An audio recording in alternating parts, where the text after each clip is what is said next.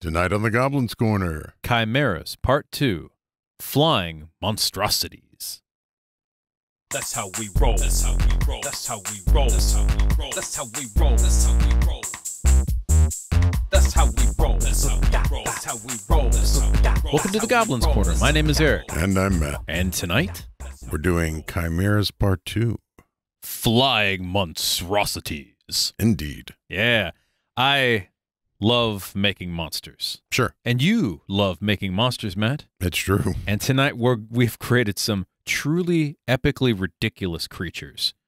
In, in some cases, ridiculous. In some cases, awful. We are terrible oh, humans. Oh, some of these are completely destructive and are total party kills if you play them the way that we intend you to play them. And some of them are just stupid. Yes. There's definitely one that's ridiculously stupid. But yes. that's fine because we've got chimeras and we'll briefly go over what makes a chimera and how to make them better and stuff like that.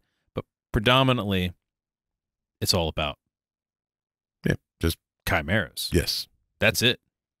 Chuck a couple of critters into a blender, pour it onto a cookie sheet, bake it, see what comes out. And all of these are flying monstrosities, which means some part of this will be flying creature. Yes. But before we get to all of that, First, we've got a question of the week. all right. So tell me, what is your question of the week this week, Matt? So, you know, I'm trying to keep with my themes. Mm-hmm. The Wicked Witch. I'm familiar with her. Have Had- dated one. Fair. had flying monkeys. Yes. What would your iconic flying minion be? You know me too well, so you know my answer will be flying turtles. It was either going to be flying cats or flying turtles. Or Godzilla with wings? Godzilla with wings would be hilarious, also, but a little, little cumbersome. I mean, that would definitely be a flying monstrosity. yes. Can you imagine Mothra, King Ghidorah, and Godzilla mashed up together? Think about it. That'd be awesome. I'd love that. But no, I would say probably flying turtles would be the most amusing. It'd be Koopa.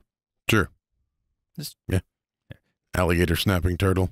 Let my minions go! And they just kind of fly out in a mass, and they're all a bunch of turtles. The world needs to know what kind of wings. Hmm. Oh, that'd be the bird wings. just like straight up dove Straight- wings. Straight just up the, the dove wings. Oh yeah, totally. Nice. It totally looked like that. Now, Okay. I would also consider flying frogs. Okay. And this could be the bat-winged frogs, like they they just sure. majestically leap like this, which would be hilarious. I also thought, for some reason, kind of like how spiders make silk from you know their abdomens. Yeah.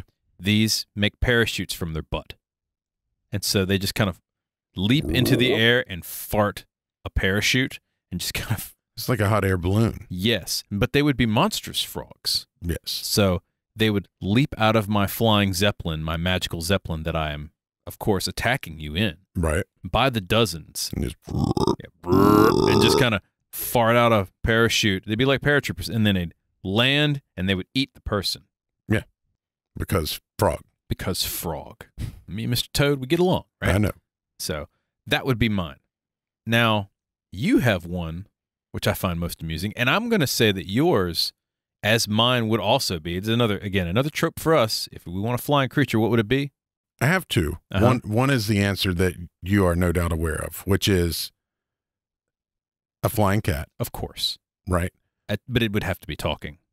Absolutely. So you like a tressym, Mm-hmm. right?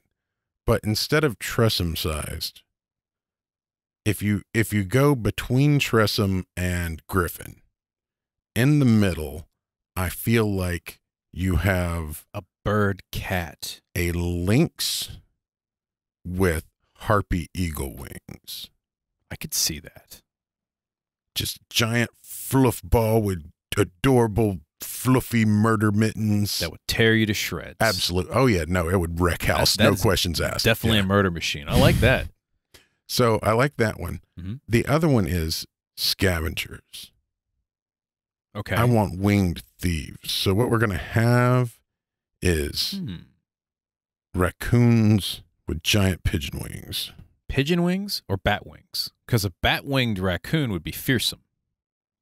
Think about that. Yeah, but you know, for for, for that scavenger look. Oh, you want you want the pigeon wings because the scavenger because type? scavenger, yeah. I could see that.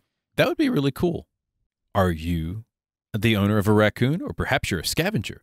Write to us, info at goblinscorner.com, or you can reach me, Eric at goblinscorner.com, or, Me, Matt at goblinscorner.com. and of course, you can find us on all the things. And we're always on Twitter. It's true. You want to hit us up at Goblins Corner on Twitter? We will talk to you. It's true. And if you have questions that you don't want a thousand people to chat with, just send us a DM. We answer Yeah, those too. hit us up. We Yeah. talk to you. All right. So let's talk a little bit about chimeras tonight because that is the episode that we're doing. It turns out, yeah. It Turns out. Uh, so first off, what is a chimera, Eric? That's a good question. Well, the traditional chimera obviously is the what is it, the goat, the dragon, and the lion, Lion head. body? Yep. Yeah. What is it? Goat head, dragon head, and lion head, right? Yep. Yeah. And some they've got wings, and some they have a snake tail. Yep.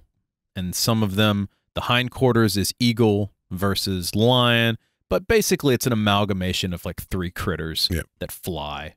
Three to five. Yeah. Now, chimera in the modern sense is anything that's been mashed together, like a chimeric creature Right. genetically. And some of these chimeras we've created for tonight would work just as well for that as, as also. Yeah. And several of ours are magical chimeras. They are monsters mixed with other creatures, monsters mixed with monsters, monsters mixed with celebrities, whatever. Yeah, whatever happens to be, you know, the case.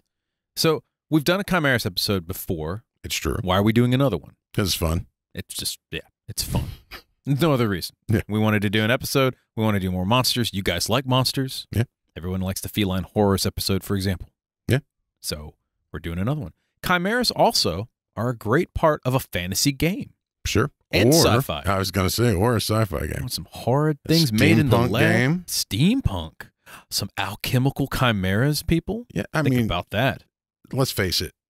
Mary Shelley, Frankenstein, right? That is straight up steampunk. hmm The the first human chimera. Yeah. Made of all kinds of bits and pieces. Yeah. What else is good about what we're doing tonight? Well, great monsters. You just get to smash. Yeah, right? good to thud. thud. Yeah. You want some creatures that your party can just murder hobo? These make great murder hobo creatures. Sure. They're decent big bads as well. Indeed, if they're smart enough. Yeah. And many of them are often intelligent. Most appropriate reason is because chimeras are great for freaking out players. Oh, they excel at people going WTF. Yes. And I should say, the more your characters freak out at the description, the better. Absolutely. If you want to, if you play for the storytelling aspect like we do, you may not even say, "Hey, it's a chimera," or No, "It's this you monster." just describe you it. just describe this thing, and they go, "What the f- am I looking at?" Yep. and freak out. And then, and it could be something honestly that won't kill the party. Yeah. It may be completely doable. innocuous. Yeah. But if you describe it right, you instill a little bit of that horror. Their left eye starts twitching and they're trying to figure out why their soul itches. It's Why can't I recognize this thing? Yeah. It's because you homebrewed it, guys. That's why. In addition, It's a great way to provide story options and to beef up your world lore. mhm, so if you're building your own world or you're adapting something from a published material, this is a great addition to your game. Straight up. Yeah. Like a green whale with tree stride. A green whale with tree stride. Think about that, guys. And in addition, they're just really easy to make. They really are. I mean, grab some animals, mash them together. You want to go even crazier? Grab some bigger animals or some monstrous animals, mash them together. Mash objects and monsters together. Mash horrible things together. It doesn't even, it can be two, it can be three, doesn't matter. That's how it works. Yeah. And this works super well for any setting. Patton Oswalt, a roll up desk, and three chimpanzees in a rowboat. Oh my God. It's, it's Patton Os- Oswalt, Mm-hmm. three chimpanzees, Mm-hmm. A rowboat and a roll up desk. Roll. Okay. So it is a walking producer. It just it just spits out script material for actors, Sure. and it's and it's huggable because Pat Oswalt is kind of nice. Yeah. Do not try to hug the chimpanzee. If Don't hug do the not know chimpanzees. No, they're chimpanzee. they're not nice. They just look cute. All right. Now for this episode, we have given ourselves a couple of qualifications because we're not just going to mash anything up. I mean, we did, but but we do have some qualifiers. Uh, what are those, Matt? So theoretically, We've got- must combine at least three creatures. okay, so at least three creatures, so Right. not two or one or whatnot. Right. Which I only vaguely stuck to to begin with. So That's we're that's, yeah, that's fine. everything's flexible. It's great. So it's got to have a name. Yeah. And it's got to have a basic descriptor. Okay. We've got some rough stats, some special defenses and attacks. Just to kind of give you guys an ability what you might want to throw into your game. Again, we don't know what you're playing. right. It might be D and D. Probably is D and D. Could be Pathfinder. Could be some kind. It could be Travelers. Could be Shadowrun. Could be anything. I've got at least one that works for a, a cyber style world. Mhm. Yeah. And some ecology or story behind its creation because not everything that's created is going to have an ecology and not everything that That's has an ecology was created. that's very true. So we have what six, seven? I think we now have seven because Sev- oh, your oh, yeah. brain went off the rails. My brain. Yeah, we we got an insane one at the end. That's fine. So we're going to give you these delightful creatures. These are for use for whatever game you like. Just feel free to mod them. And if you do illustrate, please, we would love to see the illustrations of these horrible creatures. Absolutely. I would love to see, particularly the first one. That would be cool. It'd be very cool, and the last one, in a couple of years too. But I mean, I don't know that I want to see the last oh, one. that's gonna be great. I can't wait to, to tell you guys about that. We'll have to you'll have to skip to the end of the episode for that. All right, what do we have first, Matt? the dreaded Mothagator. Ah, yes. And I should add, we should probably say what we've created these, what we what animals we've mashed these together with, and so the dreaded Mothagator is a moth, a scorpion, and an alligator. Naturally. Mothagator. Yeah. All right. The description goes as follows As the moon casts its pale glow over the bayou, you see a fluttering of insects in the distance. A trail of fine white dust follows the small fluttering creatures as they move through the air in a lazy and spellbounding pattern.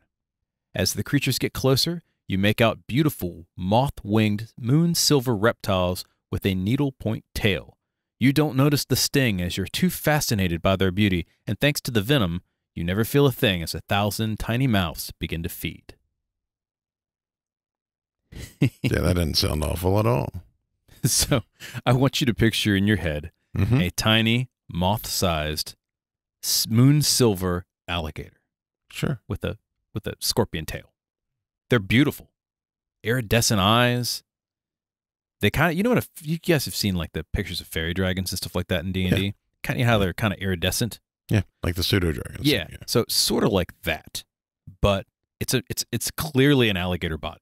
Oh yeah. It's only it's only but it's only this big, but it's damn impressive because it's got a scorpion tail and can fascinate. All right. So we got some special stats, defenses, and attacks. Yep.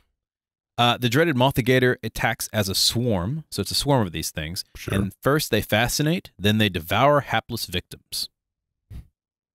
So we've got fascinating dust. So they leave a trail of dust. Mhm. and uh, I would say that you would need to make a will save if you're playing D and D or charisma save. I think if you're playing some other options, whatever the save happens to be, but Right. basically you become fascinated by the dust. As you're mesmerized, then they kind of enter your space and sting you, and that sting paralyzes.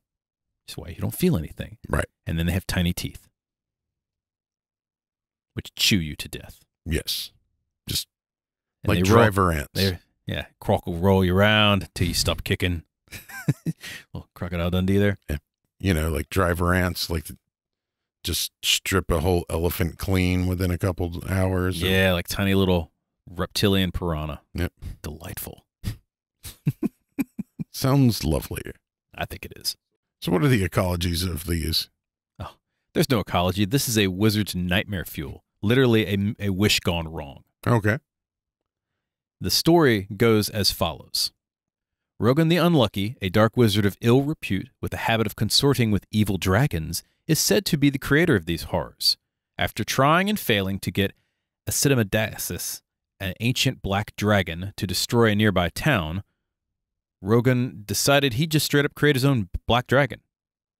Okay. trying to basically ally himself with evil dragons. Sure. They don't have nothing to do with them. Right. He's like, well, screw it. I'll make my own. Like you do. Yeah. Using a mighty ritual during a full moon, he expected giant venomous alligator terrors. What he got was something far worse. So he's expecting large, Right. monstrous, flying, dragon looking alligators. Sure. It didn't work. Because unbeknownst to Rogan, a nearby bog fae was amused by his attempts and assisted with his spell work. The result being the dreaded Mothigator. Assisted. Yeah. With quotation marks. Added a few Yeah. things Yeah, here, yeah, a few things there, a little column A, a little column B. Next thing you know, you got a swarm of Mothigators. Sure. No one knows how to undo his creation, as his notes and Rogan were immediately consumed by the first swarm he created. I mean, obviously. Yeah. and that's it. There you go. Feel free to use that in your campaign. How delightful. Indeed. All right. You have an interesting flying creature, which I must add, I also created a wind and storm creature, but we'll get to yours first. You have the cloud whale. Indeed. Now, I would like to point out, as usual, we have tiny little crossovers. Sometimes they're very large, but in this case, we have little crossovers. Now, when we do custom spells and custom critters, we do those in separate locations. I do them while I'm at work. He does them while he's at work or doing other things. This is just how long we've known each other and how much on a wavelength we happen to be. Our brains are in sync when we're creating these ridiculous things. All right. So, first off, what is the uh, cloud whale created from? A whale, Okay. a baleen whale specifically, Mm-hmm. and a tempest elemental. Okay. I got to shortcut the three creature requirement because a tempest elemental is two elementals combined. Which is air and Water. Yeah. Yeah. Mhm. That was that was one of those ones where I was just like, hmm, I forgot about the three requirement because we do these separately. it's fine. And it's, again, you got it anyway. Yep. As for the description, it goes a little something like often mistaken for large storm fronts. These vaguely whale shaped creatures are several miles wide and four to five times that in length. They're big. Yeah, They're real big. megafauna. Yeah, no kidding. Their underbellies appear for all intents and purposes to be a storm cloud, despite being lower in the sky than one might normally expect. That includes rain and lightning. The tops of cloud whales are rubbery skin that is several feet thick, resistant to damage, and while not truly insensate, it has a very low sense of either pain or pressure. And it's for that reason that it's not uncommon for aerial creatures, skyship captains, or adventurers capable of group flight have been known to use the top of such creatures as either areas for, you know, flying creatures, Mhm. storage, or mobile bases of operation. This would be cool to. I, I was thinking, I've got my own airship tower. Yeah. On top of a cloud whale. Sure, because they're enormous. Yeah. And, you know, if you're in a desert, fly it over. Got some rain. I got a new business now. Cool. So you've got this, what is it, several miles long? Yes. I mean, you could literally have an entire country on one of these things. A city. We got this giant cloud Yep. whale, several miles in width. Could throw an entire city on top of it. Absolutely. What's its special attacks or defenses, or uh, you know, some basic stats that we would expect? For size, I just put colossal plus. Yeah, it's just big. Yep. If it falls on you,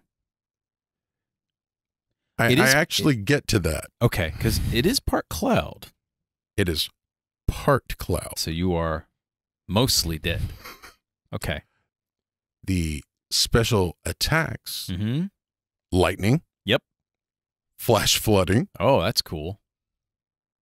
special defenses. It has a metric ass ton of health, as you might expect, because it's bleeding enormous. Mm-hmm. It is resistant to most damage. And what's the benefit of killing it? A lot of blubber. A lot of stormy, stormy blubber. Storm blubber? Storm blubber. But I mean, you could just harvest that a little bit at a time. It's it doesn't feel very well. This would be really cool for like a water world Oh, that might be cool. Yeah. where there's no land masses. Everybody lives on cloud whales. oh, that would be fun. Something to think Well, about, folks. Yeah, we might have to run that. Yeah, we we should run that. All right, cool. What's the ecology of the cloud whale? Cloud whales are filter feeders. They eat pollen. Smaller ones have been observed, leading experts to believe that these creatures do breed in some way. And due to their size, they're often solitary. They will occasionally travel in small pods, especially if a young one is present. Next, though, next we have the Kulakaraptor. Yeah, Colocoraptor, The Colocoraptor. All right. like chocolate, coloc, Colocoraptor. So it's a it's a raptor in culottes? It is a cockatrice, a modron, and a velociraptor. Uh-huh. This is how my brain works. I know, man. I know. You know, I like Yeah. alliteration and fun words too. So, what's the description on right. this thing? from the open sky, this coppery mechanical avian comes out of nowhere with a whirring and buzzing of gears. Sure. Just kind of flies like Bubo from Clash of the Titans. Does it uh does it also have the propeller that some of the Oh Modrons yeah, have? it should totally have a propeller on it, or maybe some jet engine wings, whatever you know, whatever works. Yeah. Like go go crazy with that if you guys want.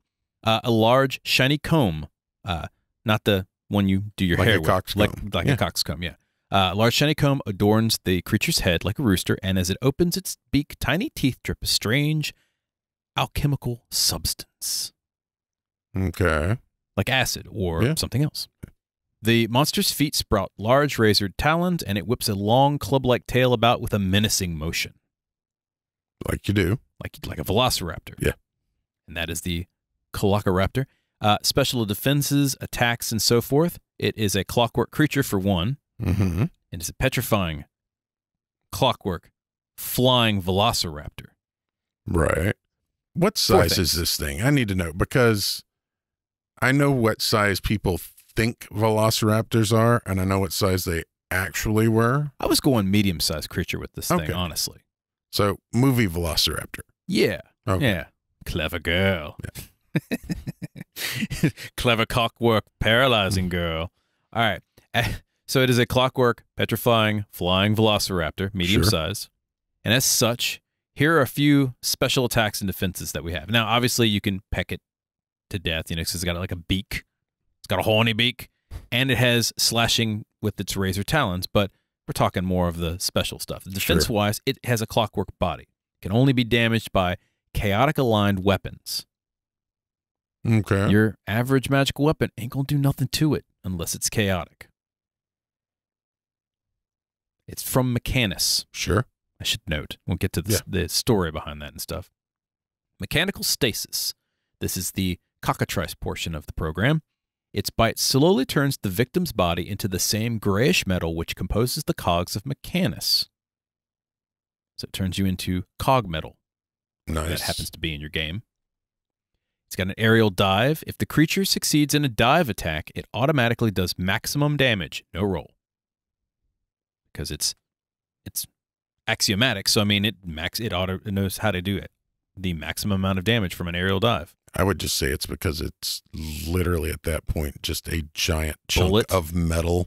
Yeah. it's just a big bullet that petrifies you, turns you, and slashes you apart. It's it's like a war. It's like a giant Ginsu blender. Be fun. All right, I should have done that. And if it has a propeller, then that even It more explains it. Flying just- Ginsu blender. Yeah. Mm-hmm. It also has pack instincts. Finally, so should two or more Colocoraptors hunt together, they automatically coordinate their attacks, and one is aware of the other. And whatever one knows, the others know as well. Gotcha. That's awful. And velociraptors do hunt in packs, or yes, did. they do. Yeah. They, I'm sure they still do somewhere. Somewhere in some planet, in some multiverse, they're still kicking. Some rich guy's farm somewhere. Oh, yeah. yeah. It's just a matter of time. I can't wait. I want to hunt velociraptors. To be also, I, actually, I don't want to hunt. I want to let them out. I want to ride velociraptors. That's what I want. You can have your Velociraptor. I know you want your ankylosaurus. Yes. I understand. He's got ankylosaurus love. It's a clockwork creature, but I'm going to ask anyway. What's the ecology of this beastie? Actually has one. Colociraptors are native to several cogs in Mechanus, often preying upon rogue modrons, formians, which are the ant people, Mm-hmm. and particularly planar travelers. Sure. Eats planar travelers. After several quick bites, the Colociraptor is sated. Just takes a couple bites, Right. leaving the rest of the unfortunate victim to turn into metal and bond with the planar gear. As such, many believe Colociraptors are the natural healing mechanisms by which older worn gears repair themselves, although no one has studied these dangerous denizens long enough to see a gear repair in action. I feel like there has to be a middle step there. Ah, there might be. Who cares? it's you know, all, all you- you're going to be part of the cog, buddy. It doesn't really matter. Now, as far as the story goes, according to many sages, Primus created the Colociraptor to assist with maintaining the clockwork nature of Mechanus and keeping it free of parasites, i.e., in this case, not anything naturally part of Mechanus. So, Right. planar travelers, for example. Sure. Enterprising or crazy summoners can learn the ritual to bring a Colociraptor to the Prime, where they find it to be able to be given orders, first off, so it is smart, Sure. which it carries out to the letter, like a Modron. yeah, like a Modron. Yes.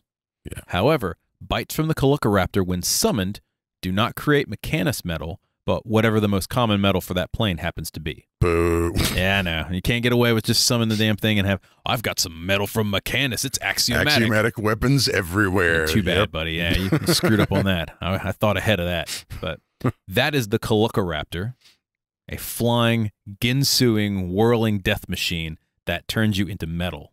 With, in my head, an Inspector Gadget propeller. Yeah, I would be fine with that as well. Just flying around. Mhm. All right, we got four more awesome chimeras, but we'll be right back. After these messages. You with the face. Do you like what we have to say? Help our channel rise from the depths like the mighty Godzilla. Please like and subscribe and ring the bell and do all of the necessary YouTube. What he said.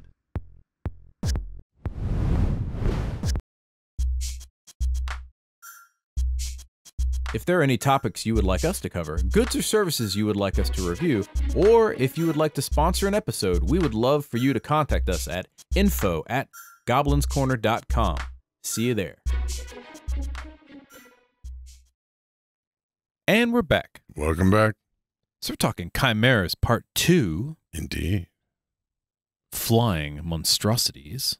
Such monstrosity. Yeah, we're giving you some ridiculous creatures already. So we've got the dreaded Mothigator Indeed. We've got uh, Cloud Whale, mm-hmm, and the Colociraptor. because you need one of those. You love that, your don't you? Absolutely. It's great.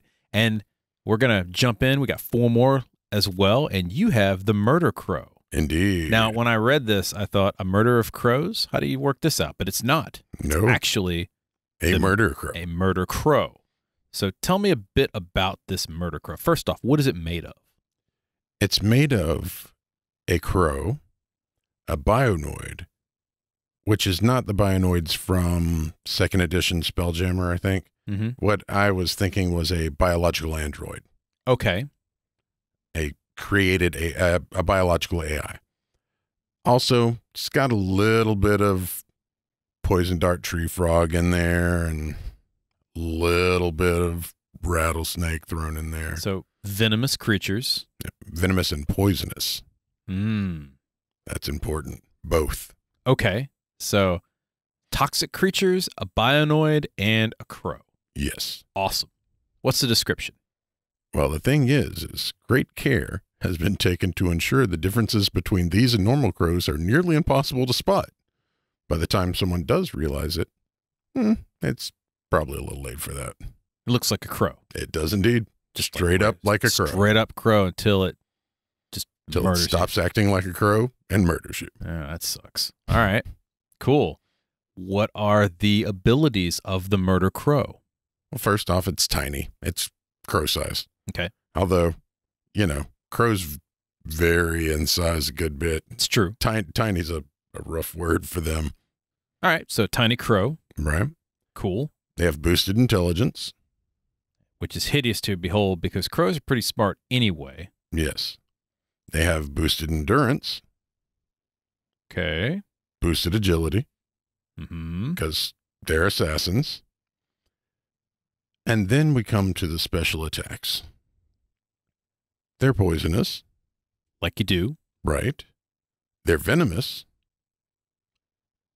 And they have a second mind that has been placed in their head so that that's going to make them very resistant to things like charm and fear and things that you might use against an animal that you just wanted to get rid of. I'm seeing a typical looking crow with kind of an evil bend to its this you know, like when it kind of cocks its eye and looks at you, it's a little bit more, you know, "Arr." Right, but but you but it looks like a crow. And you you may not you're like, you know what? No big deal. Crow flies in. Uh maybe he he picks the lock to your house, comes in. that was exactly You go to bed, the crow's in your bedroom. What's going on with this crow? Ah, it's just a bird. And so you, you know, you, you catch it, you toss it out, you know, rah, it flies away, and you close the door. And you wake up in the middle of the night to scratching. And you wake up and he's at your pillow. And he stabs you to death with a, the knife he found in your kitchen or with his venomous beak or with his venomous beak. because you've been paralyzed because you threw him out and he's poisonous to the touch. Oh, wow. Oh, poison dart frog. Yeah. Mhm. You, you throw him out, you fall to the ground like Kirari, and then he's just gutting you. That's devious. I love this. Okay, cool. What's the ecology? I'm assuming it's They're not cloned and created in a lab. Yeah, Yeah. so- they're, man made. Cool. now I don't know if I I hadn't decided whether or not they could breed with other crows or what would happen in the no, they couldn't because they're poisonous. Mm -hmm. They'd kill other crows. Yeah. So Are yeah, they immune to their own toxins? uh they're immune to theirs. But not. I don't know. Do poison and dart frogs poison each other? No. In that case, yes. Because so you could breed them. They could, unless they're sterile. Yes. You could have an entire swarm or a murder of murder crows. I mean, life finds a way. It would be called a massacre of murder crows at that point. I agree. I'm I'm good with that. What's the story behind these murder crows? Some nut job bio doctor Mhm. working for an unnamed mega corporation. Pick your setting. right? Okay. Pick your corp. Doesn't matter. Thought it would be a blast to make sure that a murder of crows could live up to their name. They pitched the idea to their boss, half as a joke, because who really needs more dangerous crows? How many crows do you need? As many as I can fit. in a suitcase. yeah. I don't know. The boss looks the doc in the face and tells him to build a biological based AI to put in the back of its head so that they can train it on who needs to be safe and who doesn't and how best to use their abilities that they're going to give it. Also, you have to have a viable specimen by the end of the second quarter next year, or we're doing an audit on all of your past spending and experimentation. All right.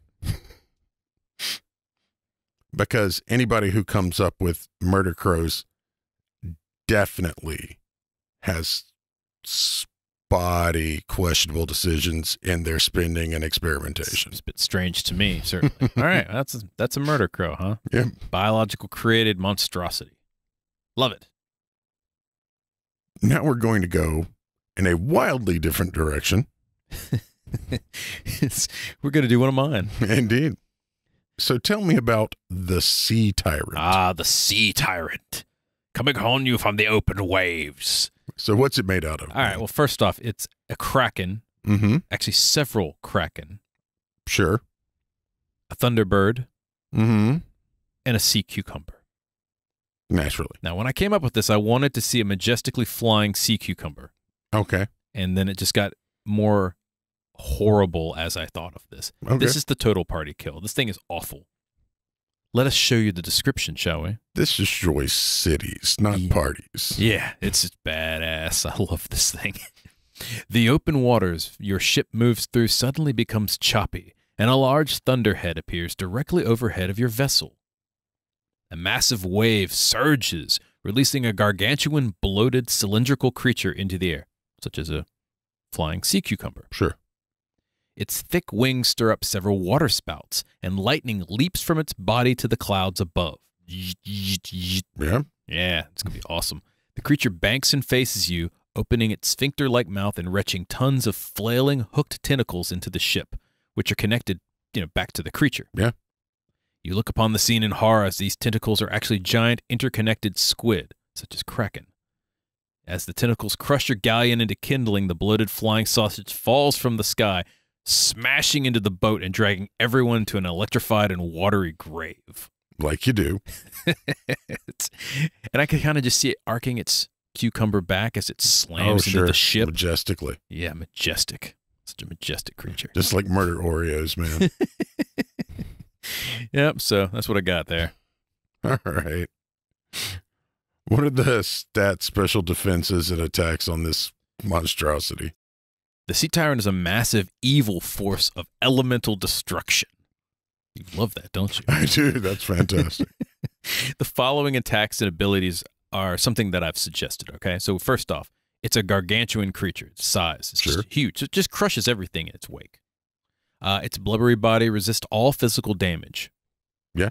You gotta have magical objects to pierce this thing. sure. Its hide's just too thick. Can't get it. Uh, oceans and air can call up hurricanes, water spouts, can change the weather, call lightning, and these are both derived from either the kraken creatures in D&D, which can call thunderstorms and Yeah. call lightning, or the thunderbird, which can shoot lightning. Real lightning. lightning. I- yeah, yeah. Got you on that. Blind sense 600 feet in the water because you know, Sure. sea cucumbers Sea don't cucumber. they don't have eyes. Uh, 60 feet outside. So it's got blind sense. Now, interestingly enough, if it vomits the Kraken, the Kraken still have eyes, so they can see you. Sure. So if it throws its stomach out, then it can view creatures. Something to think about. Uh, speaking of which, it can vomit 1d4 Kraken. Uh huh. The creatures attach. That's actually its stomach. Yeah. Yeah. So I've I've got to ask. Kraken, if I remember correctly, have spell casting. Yes. Okay. Yeah. Okay. Yeah. No, I'm I'm good with that. It's a creature that has 1d4 Kraken as its gullet. Yeah. And oh, and, and finally, the thing's intelligent. Because what? It'd have Why to not? be. Yeah. Because otherwise, the Kraken would just tear it to pieces. That is absolutely true. Something has got to be very intelligent and super powerful to prevent Kraken from destroying each other. Mm-hmm. And that is this thing. Sounds awful. What's the ecology of this? Well, there's no ecology to this Okay. specifically. Uh, sea tyrants are hateful beings and are only released when Umberlee is truly displeased. Umberlee is the goddess of the ocean in the Forgotten Realms. Yeah. So, so this is a kraken, not in in the mythological sense, not in the common monster manual sense. Yeah, right? this It is a, the creature It is that a titanic creature that is kept locked away until it is time to just absolutely wreck. One hundred percent. This is definitely something that you would release upon the world as an elder evil, perhaps. Maybe not. Maybe not on that scale, but certainly uh, close enough. It's definitely a, a high level campaign type thing if you're going to fight this thing. Yeah, I mean, it would literally destroy most port cities. Yes. Now, the story of its creation goes as follows. Believed to be the dreams of Umberlee, the evil goddess of the ocean, the sea tyrant visits its wrath upon vessels, islands, and even coastal nations whose actions have displeased her. Sure. Seem pretty straightforward, right? Yeah. While Umberlee maintains control of this titanic creature, it occasionally breaks free from its watery prison to stage months of terror and violence. Got to eat. It's yeah, occasionally Cucumber got to eat, man. gets out of its hut, you know, gets out of its prison occasionally, just screws everything up. Now, thankfully, there's only ever been one sighted at an occurrence, much like the Tarrasque. But it's possible more lie in wait for the time of a watery Armageddon. I like to think that Umberlee exercises her imagination. Like there's only one of these. Mm-hmm. But there's more creatures similar of horror. I would I would Yeah. be down with that too. There's a tardigrade in there somewhere. oh, a, giga- a, a Titanic tardigrade. The Titanic turtle Tarrasque tardigrade. There you go. Tardigrade, Tarrasque, and a sea turtle. It's not flying. Dragon turtle. A dragon turtle. Yes. All right, that's even better. Now there's four chimera Because it needed a it needed a breath weapon. It needs a breath weapon. Sure.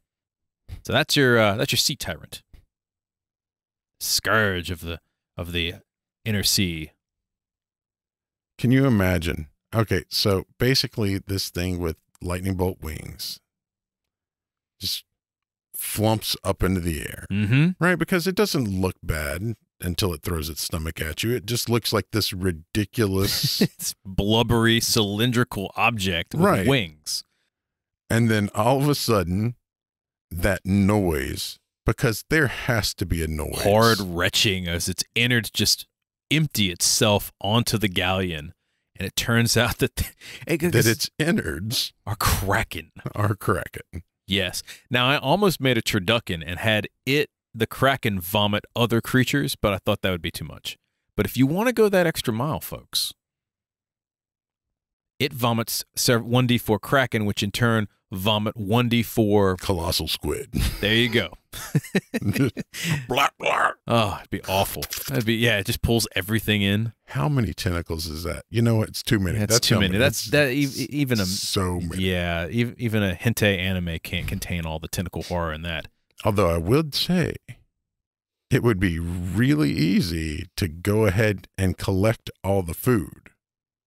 When you've got that many tentacles, right? You just It's like a fisherman's net, man. Yeah. Just grabs everything. All right, we're getting out of hand here. Okay. Let's talk about your next creature, the glisterling. okay. What is it? What is it made of? First off, It's made of joy and light and happiness. oh, that sounds awful. It's a lie.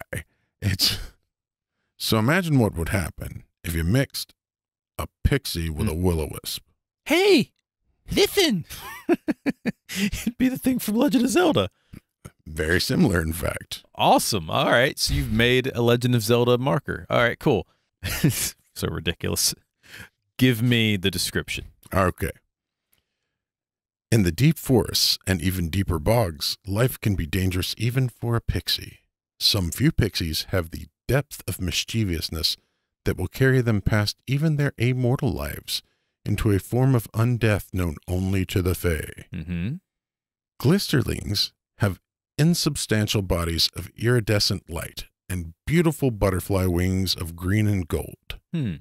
In a similar manner to some ghosts that are trapped in the emotional state that they died in and possibly even animated by it, so too are glisterlings trapped in a permanent state of mischief, which is to say, not a whole lot actually changed for them. Yeah, because they're just so they're basically undead, mischievous creatures. Yeah.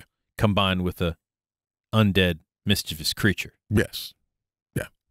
Sounds good. So a chimera of two undead. Very cool.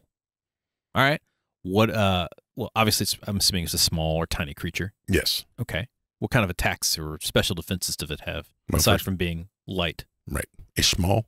It's very small. Very small. Uh, it can only be affected by magical weapons, or it's resistant to anything that's non magical because, well, it's made out of light. Now pixies are invisible. Yes. In certain games and in certain editions, the answer to that is yes. Okay. In more recent editions, They of- are not. They are not. Ah. Okay. Less dangerous. What else can it do? Flit. That allows them to move at triple their speed as an action. Nice. So instead of, you know, if you're playing Pathfinder or D&D and you you get like a movement Mm-hmm. and then an action, well that action can be at triple speed if they so choose. Okay. Spell access. Let's talk about this. They have access to all druid cantrips, all illusion, enchantment, and necromancy cantrips. Interesting. Now, keep in mind, they're mischievous, right? So they're not out here just blasting wildly. They're going to be using these for their own amusement. To really wreck your day. Yes. Okay. They also have access to all of those for first and second level spells. So all first, second, and cantrips for Druid, Illusion, Enchantment, and Necromancy. Yes. Ooh. All right. We got Charm Person. We've got Toll the Dead. Yeah, that's pretty much all you need, really. This, Minor illusions, yeah, all, all the illusion spells. I'm well aware of those. Okay, yeah. So you can you can pit trap everybody. They also know the location to the nearest entrance to the Feywild, and generally speaking, love to bring people to it. because it's a will o' the wisp. Exactly. So instead of bringing them to bogs, they Oh, bring them awful. to the Feywild portals. However, this would be an awesome way to get your character to the Feywild. Yes. If you just want, you know, instead of like the hand of the DM going, "Hey, you turned a corner and now you're in the Feywild," or you slept in a ring of toadstools, which the characters would be like, "Screw that! I wouldn't want to go to Feywild." They follow a will o' the wisp to, to murder it, ostensibly, But or it's not a will o wisp, right? It's got beautiful butterfly wings. But they What is this gorgeous yeah, thing? What is this thing? I'm gonna follow it and try to murder it because I'm a murder hobo. Next thing you know, hey there, buddy, you're in the you're in the Feywild. Now you're about to learn exactly how horrible things are. It flits around and leaves because it can, because it's a Fey. Yep. Meanwhile, You're you're making you're making all the uh, what is it the the goblin bargains and stuff to try to get out. yep. Mm-hmm. Sell your first dream just to get access to the hedge, playing changeling or something like Yeah. that. Didn't say it had to be D and D, folks. That's true. Yeah. Cool. All right. Well, that's the uh the glisterling. Indeed. So I'm going to try it. I'm going to give it a shot. We have come to the final chimera. Mm-hmm. You ready? Here we go. The Flocka Rocka Waka Flocka. You got it right on Boom. The money, man. First try. Flocka Rocka, Waka Flocka. Okay. Just sure. You know how I love alliteration. I do. So sure. What's it made out of, man? All right. Make it happen. It is the lead singer of the Flock of Seagulls, Okay. The Rock, Uh-huh. and Waka Flocka, the rapper. Uh-huh. I wanted a, a true chimera. So it is a chimera with the heads of those three musicians. Okay. So what's the rest of the description? All right. At the peak of the summit, you see a strange creature composed of an eagle front, lion back, and a snake tail. Very typical chimera. Sure. Three human heads gaze at you and prepare to sing. Mm-hmm. okay, so what are the so it's a chimera with three celebrity faces. Yes. Okay. How delightful. And- And this can be sci fi, fantasy, other, Horror. eh, definitely horror. this could totally be like a nightmare dream horror game. Oh yeah. But. I was also thinking a, a uh, super sci-fi. You go to like another planet or something like that, and these guys are there because maybe it's in the future and they got cloned. Yeah, like a Psychonauts dream sequence would Psychonaut- also would be. totally psychonauts for this. Yes, I miss that game. All right. What are the stats, special defenses, and attacks? The Flocka Rocka Waka Flocka has three bite attacks. So there's three heads, Mhm. and it's got a snake tail, so it can bite you. So it's got poison. Okay. Like that. Uh, the first head, Mike Score, the head. That's the lead singer of the Flock of Seagulls for you kids. Don't know who that is. Casts a wave of confusion. Why a wave? Because it's new wave music, guys. Sure, man. sure thing. the the head of the rock. The rock the rock casts the rock's uncontrollable hideous flexing, 30 foot cone. It's just like Tasha's uncontrollable hideous laughter, except the victim must flex their physique to all within sight. They also lose all body hair. Okay. Okay. Now, so all your body hair falls off and you majestically flex while you're confused by uh, Mike Score. sure. One of the things that I would require for this particular head Mhm. is a secondary save. The secondary save To smell what he's cooking. Is a constitution save to see how sore you are Oh, from flexing. from flexing. Because if you're the mage with like six strength and you've failed this roll several times. You can't run away. You're just like, oh my god. I'm totally going to put that in there. Yes, absolutely. And finally, the Waka Flocka head does flame naturally. Yeah. Waka Flocka flame, of course. Is it a flaming headbutt or a flaming uh, Breeze- cone breath? Breeze, okay. breeze a cone of flame. Okay. Waka Flocka flame. No, no, it's not a cone. A line. It's got to be a line. Yeah, it's a line of flame. fire. I agree with that as well. yeah. Spits fire. All right. What's the ecology? The the Flocka Rocka Waka Flocka ranges anywhere where music is appreciated or despised, and seeks an audience by which it can sing, which is, uh, by the way, a combined song of "I Ran So Far Away" by Flock of Seagulls, Mm-hmm. "You're Welcome" from Moana by The Rock, and "No Hands" by Waka Flocka. so it mashes all three of those into a mix-up. All right. Should the victims not enjoy the mashup, the creature attacks. Okay. And Guaranteed, they most likely will not enjoy the mashup.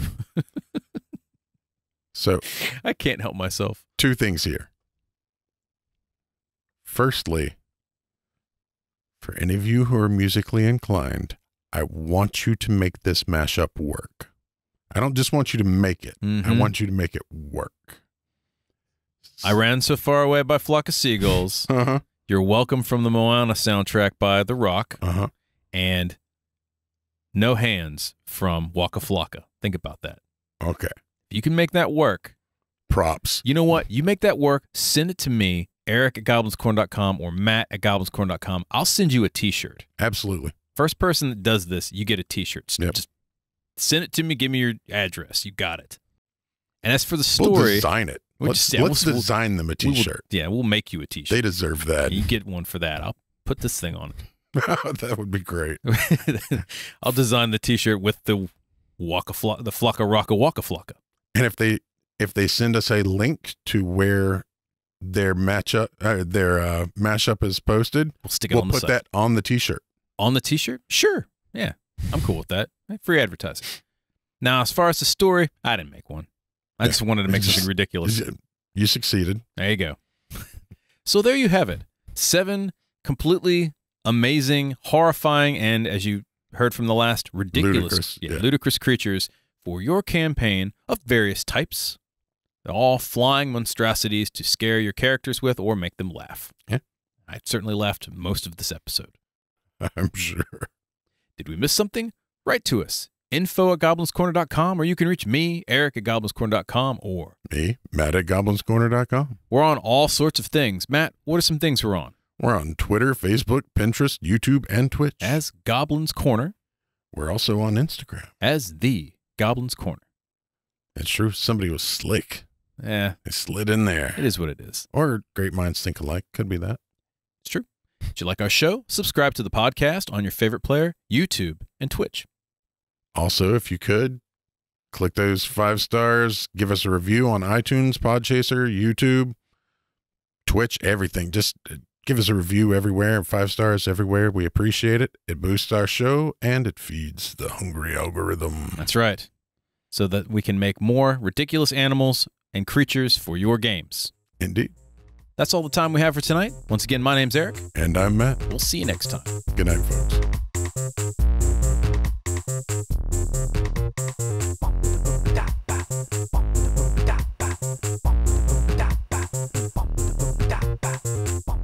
The Goblins Corner has been written and produced by Eric Holden and Matt Staples. Music by D20. This is a subterranean production.